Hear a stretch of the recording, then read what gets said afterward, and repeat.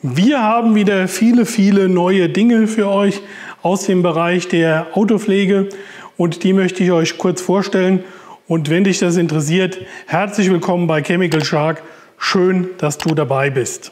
Ja, da fangen wir an mit den Neuigkeiten, die wir bei uns im Programm haben. Die findet ihr übrigens auch immer im Shop auf dem Bereich Neuigkeiten. Könnt ihr oben links äh, bzw. rechts draufgehen und dort gibt es dann eine Rubrik Neuigkeiten. Da könnt ihr euch immer informieren, äh, was wir Neues haben. Alles das, was dort gezeigt wird, sind Produkte, die schon bei uns im Lager sind. Äh, eventuell, äh, wenn man ein bisschen wühlt, kann man auch Produkte finden, die gerade im Zulauf sind. So zum Beispiel das 303 Spray Coating Graphen, eine Sprühversiegelung, die jetzt bei uns im Zulauf ist, die wir schon komplett registriert haben. Aber heute, wie gesagt, geht es nur um Produkte, die wir bereits auf Lager haben. Erstes Produkt vom Hersteller Zymöl aus Florida.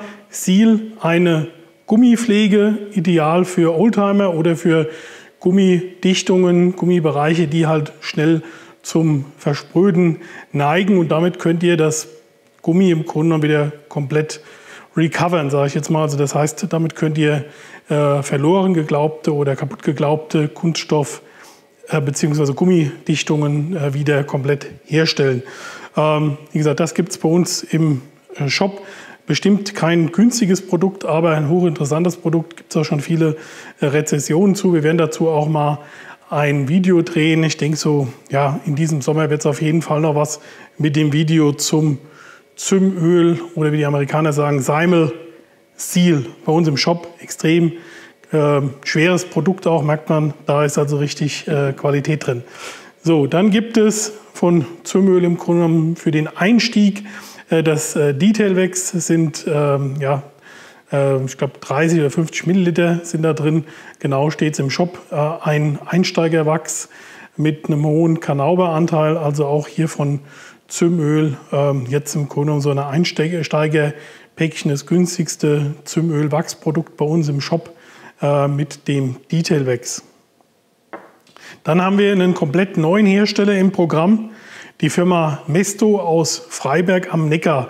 Und das ist ein Hersteller von äh, Pumpsprühern bzw.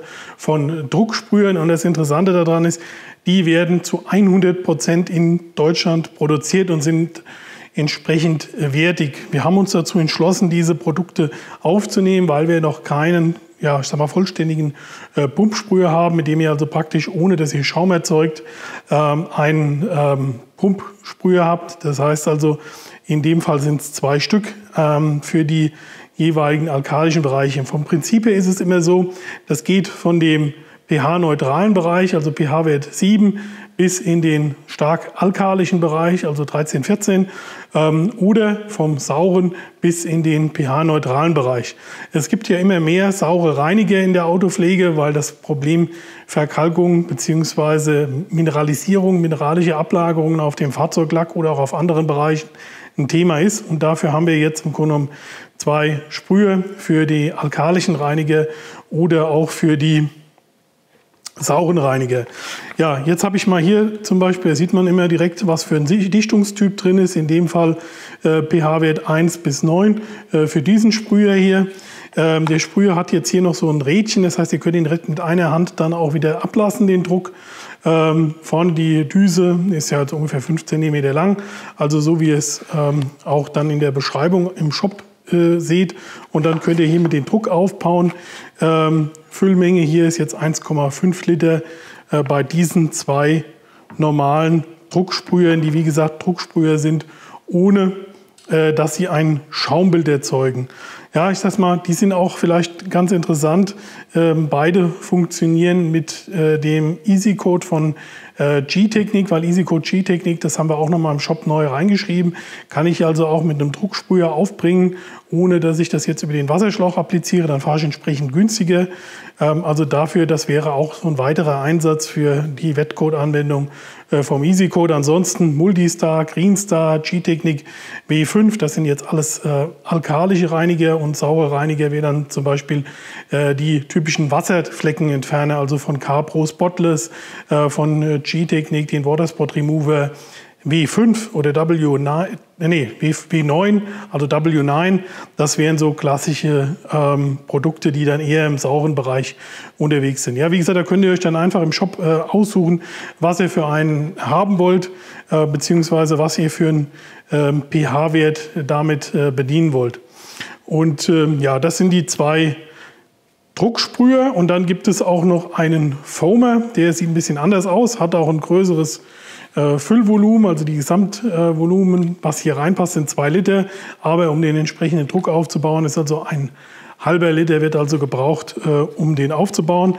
Und äh, dann habt ihr bei dem hier einen Foamer. Und das Interessante an dem Foamer ist, dass es also hier sehr, sehr günstig nicht Düsen gibt, sondern hier gibt es einfach Filzblättchen. Die werden wir auch demnächst als Zubehörteil haben. Also um das Schaumbild einzustellen, gibt es entsprechende Filzblättchen. Dann könnt ihr, wie gesagt, zum Beispiel Sonax Actifoam mit verarbeiten, G-Technik V4, den, äh, den Gentle Snow Foam GSF von Kochchemie, also das heißt, um Produkte aufzuschäumen oder aber auch, weil er äh, auch komplett in den alkalischen Bereich reinpasst, mit pH-Wert 7 bis 12 zum Beispiel den Breakbuster, also den alkalischen ähm, Felgenreiniger bzw. Reifenreiniger von G-Technik, den könnt ihr auch wunderbar mit diesem Mestofoamer äh, aufschäumen. Ja, wie gesagt, das ist jetzt ein komplett neuer Hersteller bei uns im Shop mit Mesto, sehr, sehr hochwertige Pumpsprüher bzw. Foamer. Ähm, Gibt es auch in der Rubrik Neuheiten oder dann auch beim Hersteller oder auch bei den entsprechenden Kategorien Drucksprüher bzw. Foamer. So, dann auch neuer Hersteller, ist schon ein bisschen ein paar Tage im Shop drin, äh, ist die Firma Akut SOS. Akut SOS äh, ist ein, eigentlich ein Dienstleister und die haben sich halt im, Jahre der, im Laufe der Zeit überlegt, ja, wir können doch auch äh, das, was wir selbst an chemischen Reinigern produzieren lassen oder an chemischen Helferlein äh, produzieren lassen, auch im größeren Stil produzieren lassen. Und äh, deshalb gibt es jetzt diese Serie der Smell Off, also der Geruchsbeseitiger. Und äh, diese Geruchsbeseitiger gibt es dann einmal in dieser Pocket Edition.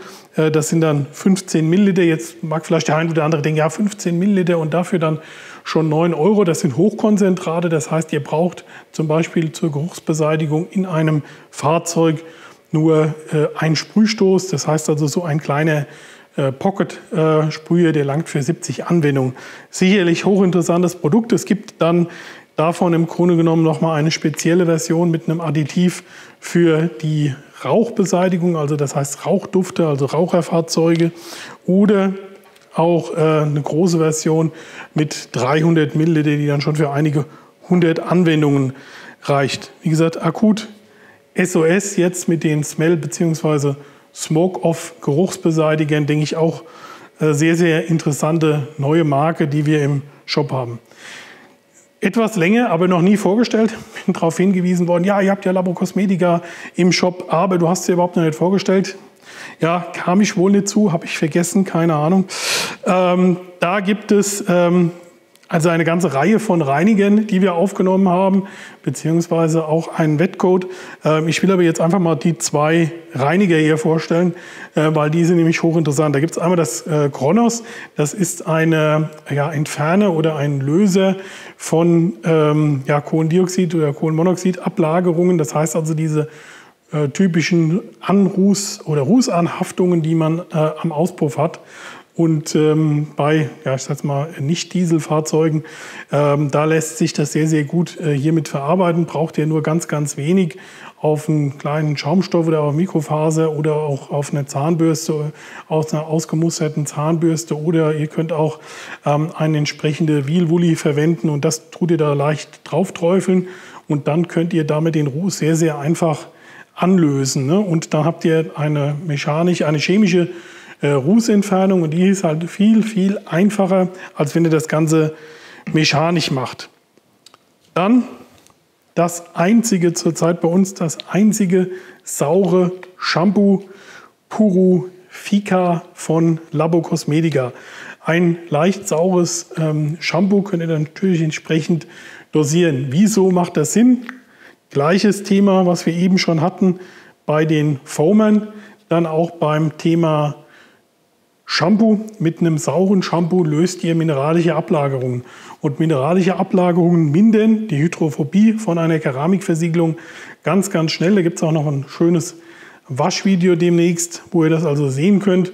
Äh, wenn ein Fahrzeug oder wenn eine Keramikversiegelung, eine echte Keramikversiegelung nicht mehr richtig abhält, dann ist ein Produkt wie Purifica oder ein äh, Capro Spotless und dergleichen sinnvoll. Beim Purifica habe ich das Ganze in Shampoo-Form. Das heißt also hier die äh, Entmineralisierung in Form von einer Handwäsche sehr, sehr schonend und auch ähm, ja, sehr safe. Und deshalb haben wir dieses Shampoo aufgenommen. Ich denke auch äh, hochinteressant. Wie gesagt, demnächst geht es ja an mein GLC, wo wir dann mal diese äh, sieben verschiedenen Coatings auf meinem Fahrzeug uns anschauen und ähm, dann auch waschen mit einem entsprechenden sauer, mit einer entsprechend sauren äh, Chemie. Und wie gesagt, dafür gibt es jetzt Purifica. Wer eine Keramikversiegelung drauf hat, für den sind saure Shampoos hochinteressant. Ja, man kann es kaum glauben, aber wir hatten oder haben schon sehr, sehr lange die Jelly Blades bei uns im Programm, original von California Car Duster, die das Patent haben von diesen Jelly Blades, also das heißt diesen Silikonabziehern, ja wahlweise für äh, die Scheiben oder für den Lack. Wenn man aufpasst, habe ich ja auch ein entsprechendes Video gemacht. Und jetzt haben wir endlich auch das California Dry Blade. Es gibt ja zwei, das California Jelly Blade, die geschwungene Form oder die gerade Form, das California Dry Blade in Rot. Und die transparenten sind auch da. Also das ist vielleicht auch äh, sehr, sehr interessante, ähm, ja, ein interessantes Produkt und jetzt auch in wunderschönem Rot bei uns im Shop. Ja, eigentlich keine Neuheit, aber wie gesagt, das rote Original California Dryblade hatten wir noch nie. Jetzt ist es im Shop. So, nächstes Produkt. Äh, viele kennen ja das Purple Foamed Wool Pad von Lake Country. Äh, Gibt es ja auch schon etwas länger bei uns im Shop. Äh, auch in entsprechend äh, vielen Größen. Also das heißt für den 75 mm Stützteller, für den 125 mm Stützteller oder für den 150 mm Stützteller ein interessantes äh, Pad, was im Grunde genommen die Vorteile von einem Schaumstoff und einem Lammfellpad äh, kombiniert, in dem auf der oberen Seite im Grunde genommen Schaumstoffpartikel eingedampft sind. Dieses Pad gibt es auch in einer etwas milderen Form. Das ist dann das anstatt äh, Purple Foamed Wool ist es das Blue Foamed Wool Pad. Das gibt es jetzt auch bei uns im Shop. Das heißt äh, etwas weniger Abrasivität und ein etwas gesteigertes Finish. Äh, wurden wir angesprochen von verschiedenen Kunden. Ja, nehmt doch bitte das Blaue auch ins Programm. Deshalb jetzt also auch beide Sorten bei uns im Webshop von der Firma Lake Country, die Foamed Wool Pads. Auch eine interessante Technik, die äh, Lake Country hier anwendet und deshalb ähm, denke ich auch ein hochinteressantes Pad. Dann haben wir ja noch Verlosungen und die will ich jetzt einfach hier äh, mit meinem Handy bei euch einfach mal ja, im Grunde genommen live äh, durchführen, äh, damit die Gewinner noch festgestellt werden. Einmal von unserer Neueröffnung bzw. Wiedereröffnung von unserem Ladengeschäft, in dem ich jetzt hier auch stehe. Unser Ladengeschäft in Limburg, direkt an der Autobahn A3, hat wieder geöffnet. Montags bis Freitags sind wir für euch da und freuen uns, wenn ihr hierher kommt. Wir haben hier alle Polierpads, wir haben hier alle Mikrofaserprodukte, wir haben alle Poliermaschinen hier, wir haben alle Reiniger da, alle Detailer da. Ähm, das könnt ihr euch alles hier anschauen und auch direkt hier mitnehmen. Wenn ihr eine größere Bestellung habt, beziehungsweise größere Wünsche habt, dann müsst das oben übers Lager laufen. Da wäre es gut, dass ihr uns kurz Bescheid gibt bis äh, 17 Uhr unter der Woche, beziehungsweise freitags dann 16.30 Uhr, damit wir die Sachen nach unten bringen lassen, beziehungsweise schon entsprechend bereitstellen. Haben einige schon wahrgenommen, hat sehr, sehr gut funktioniert. Und bei diesem Video habe ich auch ein Gewinnspiel gehabt. Da gibt es 50 Euro ähm, genommen als Einkaufsgutschein äh, bei uns und die lose ich jetzt gleich aus. Und äh, dann das zweite ist das große Fotoshooting beim Fotostudio Nuuk beim Zweimann-Betrieb äh, in Altendietz. Und das verlosen wir auch noch. Und da gebe ich jetzt gleich noch die Gewinne einfach bekannt, indem ich dem Handy das Ganze auslose. Ja, und damit Haben wir es für heute schon. Es gibt jetzt demnächst ein hochinteressantes Video. Ich kann schon so viel verraten. Die Firma Flex hat was Neues vorgestellt. Ich war vor Ort bei der Firma Flex in Steinheim an der Mur äh, im schönen Baden-Württemberg und konnte dort äh, ein Interview führen, konnte mir das neue Produkt anschauen und das gibt es auch demnächst hier auf dem Kanal. Also wenn du noch kein Abo hinterlassen hast, hinterlass ein Abo, hinterlass uns ein Like, helf uns ein bisschen, damit der Kanal ein bisschen wächst. Bald haben wir die 500, das soll es gewesen sein. Bleibt sauber, viel Spaß bei der Autopflege, macht's gut, bis bald, ciao, euer Stefan.